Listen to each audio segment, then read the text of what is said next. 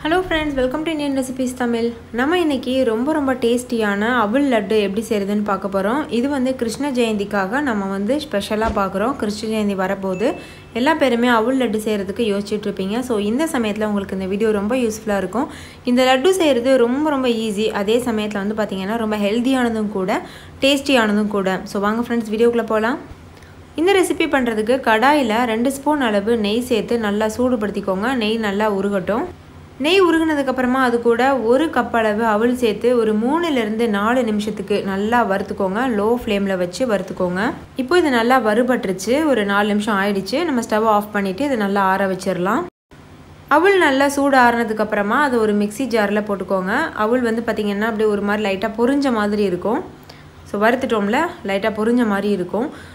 இது கூடவே நம்ம முக்கால் கப் அளவுக்கு வெல்லம் சேர்த்துக்கலாம். பொடிச்ச வெல்லம் சேர்த்துக்கோங்க. அதாவது குட்டி குட்டியாக வந்து உடச்சிட்டு வெள்ளத்தை அதை அளந்து சேர்த்துக்கோங்க முக்கால் கப் அளவு. அது கூடவே வாசனைக்காக அரை ஸ்பூன் அளவுக்கு ஏலக்காய் தூள். அதே மாதிரி ரெண்டு ஸ்பூன் அளவு துருவின தேங்காய்.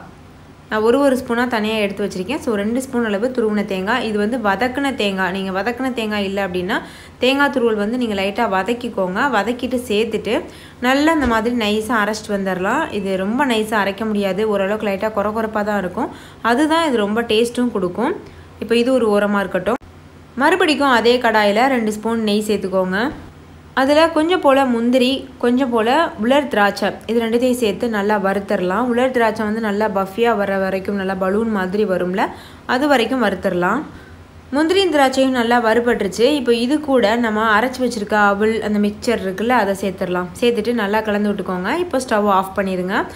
அவளுடைய அந்த அரைச்ச அவளை சேர்த்ததுமே நம்ம வந்து ஸ்டவ் ஆஃப் பண்ணிடணும். சூடு இருக்கக்கூடாது. ஸ்டவ் ஆஃப் பண்ணிவிட்டு இதை நல்லா கலந்துட்டு இதை நல்லா ஆற வச்சுருங்க இப்போ இது நல்லா ஆறிடுச்சு. இதில் நம்ம உருண்டை பிடிச்சிக்கிறலாம். லட்டு மாதிரி வந்து எடுத்து நல்லா டைட்டாக உருண்டை பிடிச்சிக்கோங்க. நல்லா அந்த மாதிரி உருண்டையாக பிடிச்சிட்டிங்க அப்படின்னா பார்க்குறதுக்கும் அழகாக இருக்கும். பெர்ஃபெக்டாக இருக்கும். அதே சமயத்தில் குழந்தைங்கள்லேருந்து பெரியவங்க வரைக்கும் ரொம்ப விரும்பியும் சாப்பிடுவாங்க. அவ்வளோதான் ஃப்ரெண்ட்ஸ் நம்மளுடைய அவுள் லட்டு சூப்பராக தயாராகிச்சு பாருங்கள் நீங்களும் கண்டிப்பாக இதே போல் ட்ரை பண்ணி பாருங்கள் இதே போல் மீதி இருக்க எல்லா உருண்டைகளையும் நம்ம ரொட்டி வச்சிடலாம். ஓகே ஃப்ரெண்ட்ஸ் இந்த ரெசிபி உங்களாருக்கும் ரொம்ப பிடிச்சிருக்கும் நம்புகிறேன் பிடிச்சிருந்தா லைக் பண்ணுங்கள் உங்கள் ஃப்ரெண்ட்ஸ் கூட நிறைய நிறைய ஷேர் பண்ணுங்கள் அவங்களும் பார்த்து பயன்பெறுவாங்க. இன்னொரு சூப்பரான ரெசிபியோட நான் உங்களை சந்திக்கிறேன். Thank you bye